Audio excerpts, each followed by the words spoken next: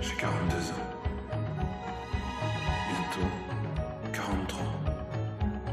Comme euh, l'hiver 42. L'hiver 43 par exemple. J'ai les gencives qui disparaissent.